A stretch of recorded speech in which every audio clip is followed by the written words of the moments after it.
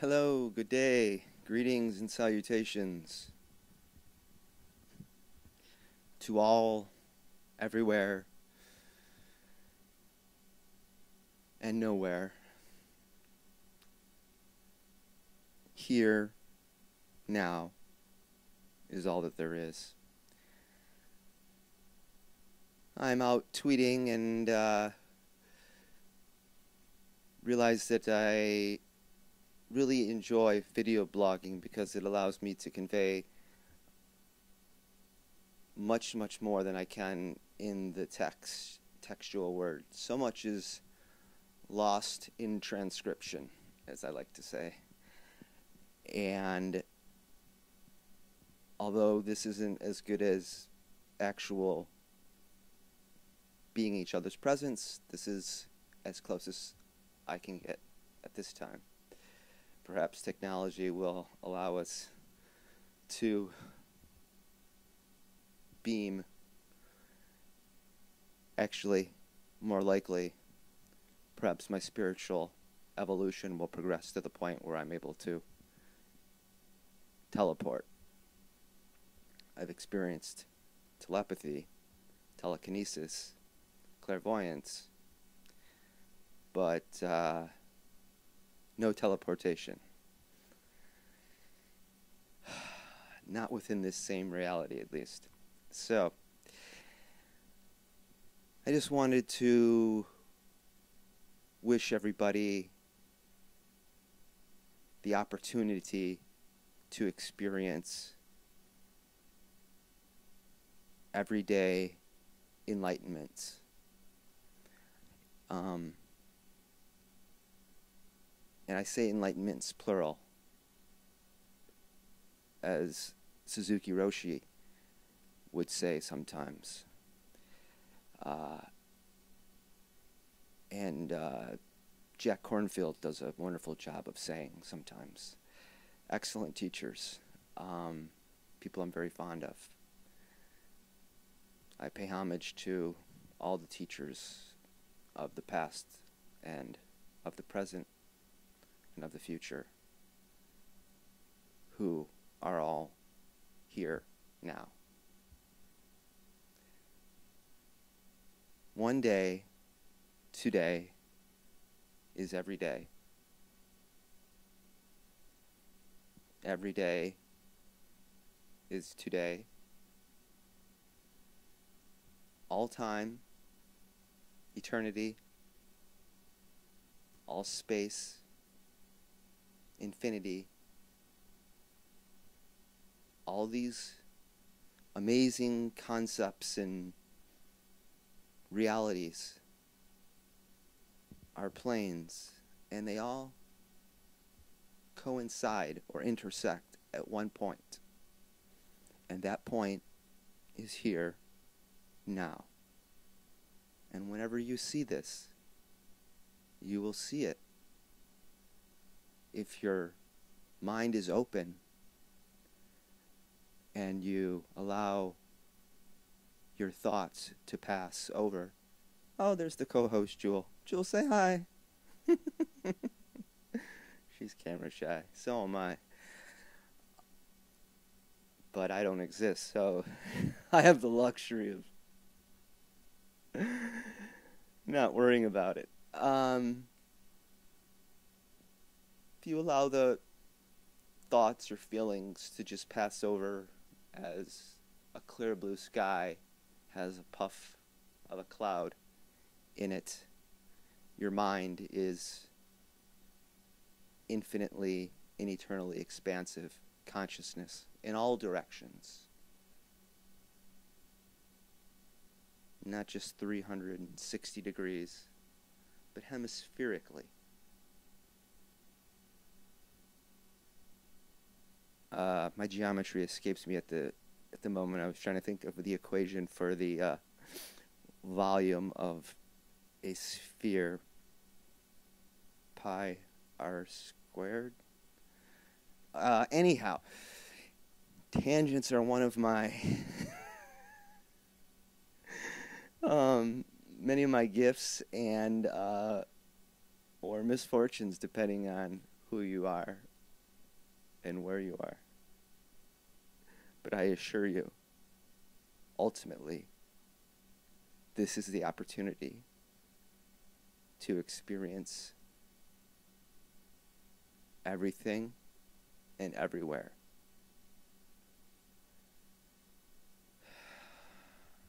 Grounded in my breath.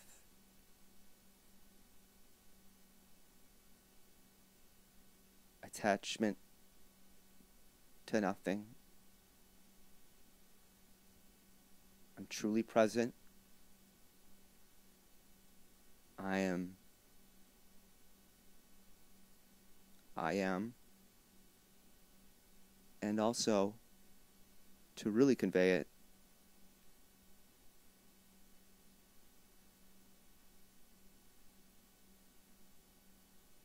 is silence.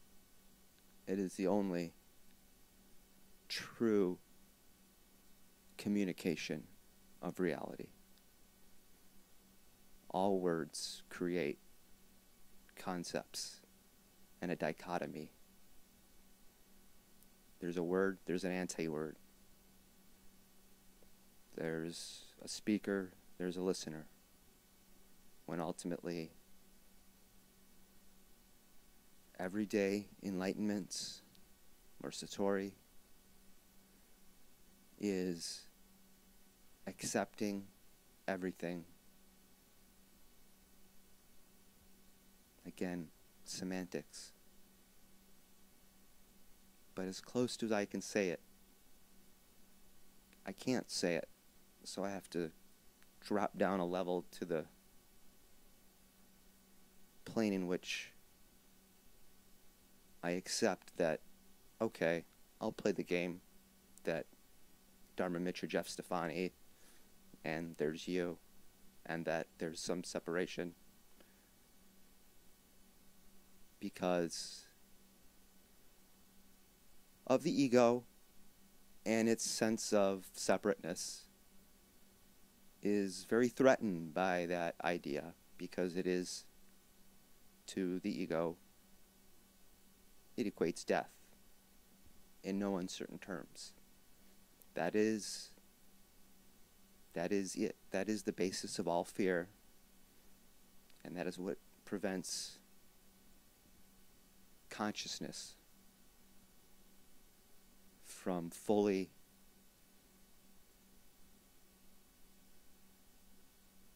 present here now consciousness oneness all these are synonyms for the same experience. But an experience cannot be transferred, translated, transcribed, traversed, transmutated. Yes. Transcended. That is my wish.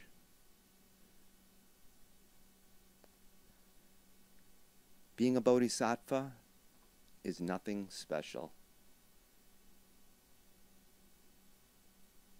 Truly, just the opposite. It's the removal of all the added layers, peeling the onion. And as we peel it, we cry. And in the end, we're left with emptiness, which is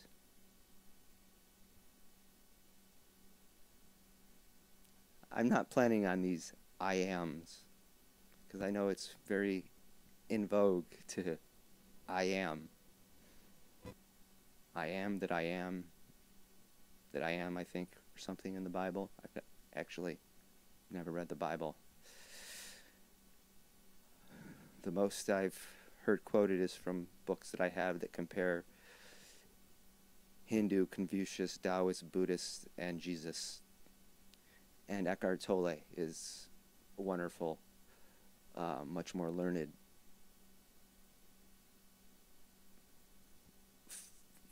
in his form of Eckhart Tolle. He's more learned and knowledgeable. Uh, taking the time to research, and it's important because if you experience everyday enlightenments, the natural byproduct is seeing, experiencing. Don't get caught up in the words. I'm getting caught up in the words a little bit. do as I say, not as I do. Isn't that the worst possible uh, teaching method that there is? Watch me struggle. I struggle. I struggle.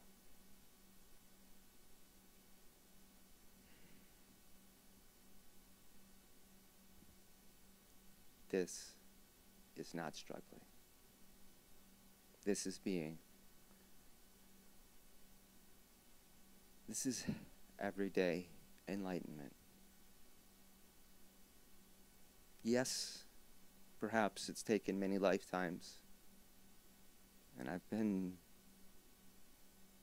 a s- serious spiritual practitioner ever since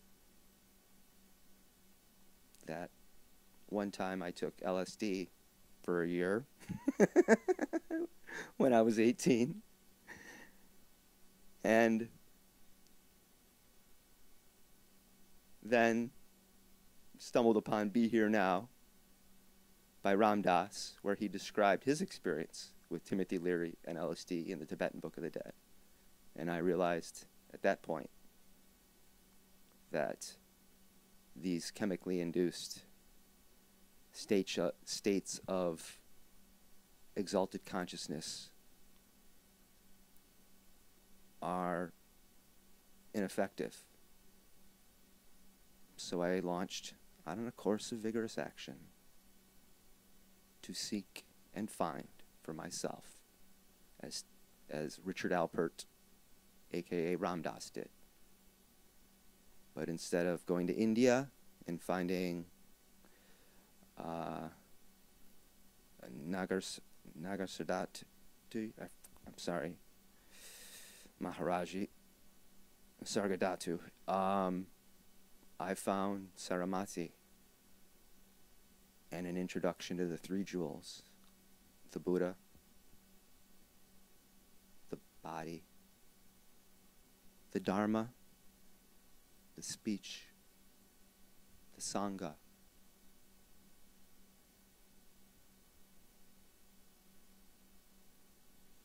The heart, the community.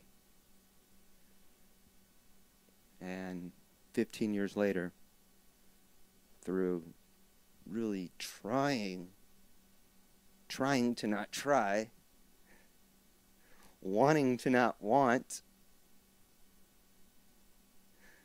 the paradoxes spun me into such a tizzy that I was convinced that eliminating my body was the only way. Because I was in pain and I couldn't take it. And I dreamed about en- ending it for respite. And once I accepted that I'm going to die,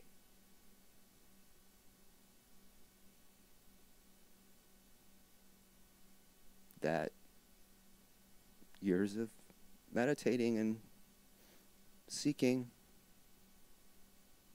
bore fruit. And the ego died before this form died. And I was awoken to true insight into the state of absolute reality, entered the stream, broke the first three fetters, as called in Buddhism, and that makes you a bodhisattva. And if a drug addict white kid from Detroit can do it, You can do it. And you know the realization I had?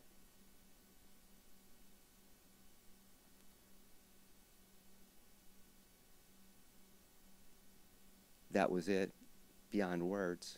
And once I tried to put some words in it, I couldn't believe that it was right there the whole time.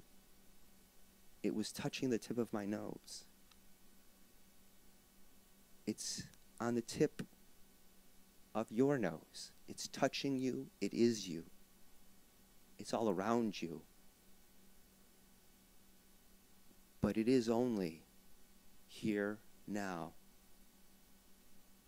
Because the past and the future only exists when we engage with our ego and our thoughts. Consciousness and thoughts, that's a equal sign with a slash through it. They're not equal. they're not synonymous. They're the antithesis. Mind and thinking. I'm looking at the clock and it's. I tend to ramble on. I just want everyone to know that I'm really glad that some people are taking the time to watch some of these videos and experience a little of my experience. And hopefully,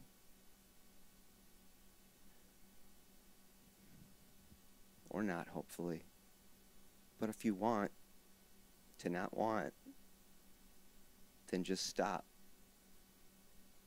Because you already are a bodhisattva covered with the layers of an onion and you don't have to peel them. They will fall off the moment you stop and experience emptiness, everything and nothing, shunyata, the primal void, the here and now, where the eternal meets the infinite. My realization is holy sh- shite. It, that's it. It that that that's it. It's been right there all along. And I thought I had to go to China, Japan, India, Nepal to find it. Fortunately, Saramati said, you'd probably be doing yourself a disfavor. You'd spent years learning the culture instead of experiencing what it is to be a Buddhist, which is to go for refuge to the Buddha, the Dharma, and the Sangha. And so I did. And thus I am. I have become.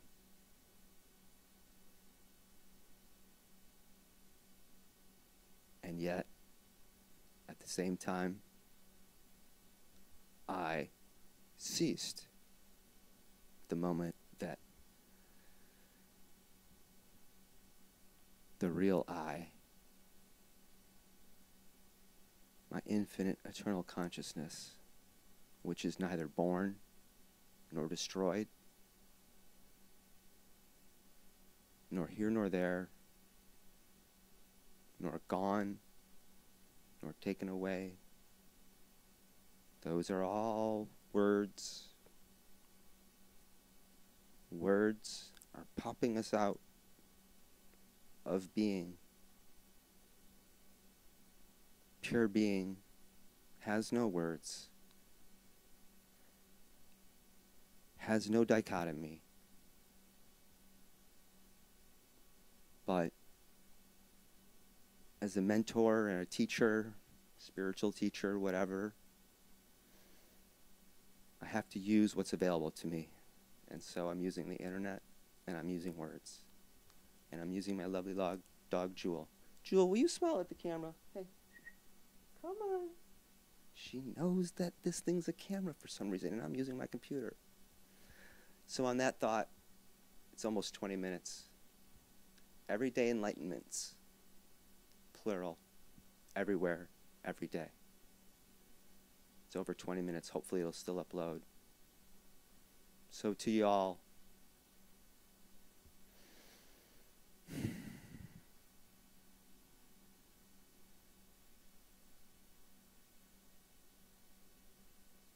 we're in this together. I'm here for you, and that's all I am. I'm not selling anything, promoting anything. Well, promoting enlightenment, although attraction rather than promotion. Right? If you've heard that term before, it's a 12 step term. I'm sober. And I'm experiencing the here and now Satori. By following, not true. My story is following a Buddhist path. Yours is your story. You don't need to practice Buddhism, although for me, it was the best doorway to the Dharma. The Dharma is absolute truth, absolute reality, all with initial capital letters, which is different than lowercase letters. Reality with a lowercase r and reality with an initial capital R mean two totally different things. The capitalization, initial caps, is to denote the transcendental. But all this, as the Buddha says, are merely signposts trying to help anyone along the path. We leave little signposts pointing the Buddha pointing at the moon. Don't worship me. Don't look at my finger. Look to that which my finger points. The moon. That is our destination figuratively speaking. That is the Dharma. And whether you're agnostic, atheist, Christian, Jewish, Muslim, nothing, spiritual, not religious, or woke up on a desert island and, and never heard of these terms, absolute reality is what it is, beyond semantics. One pure consciousness exists.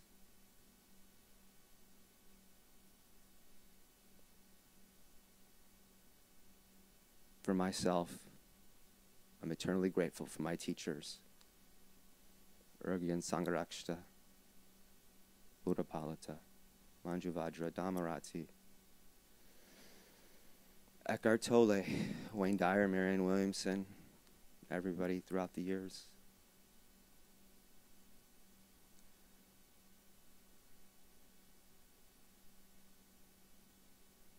Dr. McMillan, psychoanalyst. There's 84,000 Dharma doors, as they say, which is another way of saying the truth is everywhere. 84,000 back in the day was just as like saying a gazillion, a googolplex, infinite, an unimaginable number. Truth is everywhere. If you read the Transcendentalist poets, Walt Whitman, Thoreau, Emerson, you'll glimpse the Dharma. And on that, I'm not going to worry about the clock.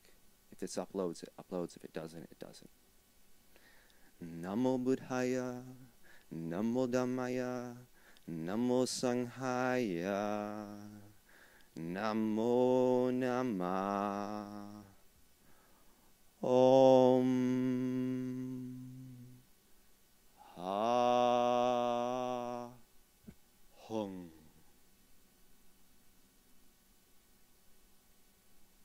Body, speech, and mind. And I got a little confused when I said earlier. Body is the Sangha. Om is the Sangha, the body. Ah is the Dharma, the speech. Hung is the heart, mind, the chitta, the Buddha. Body, speech, and mind, I go for refuge to the Buddha, the Dharma, and the Sangha, or the Sangha, the Dharma, and the Buddha. Anyhow.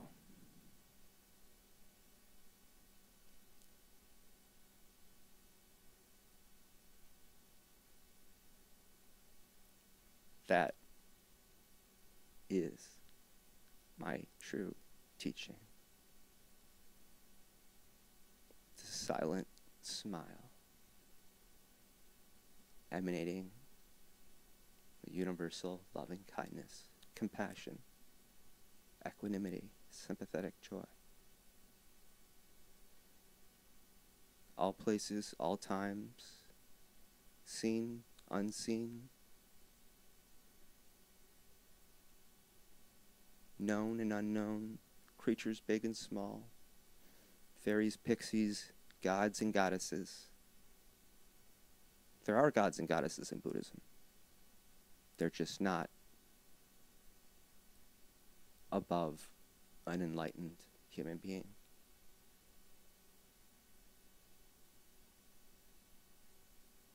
Our higher self is the higher power. For me. What it is to you, I'll leave to you.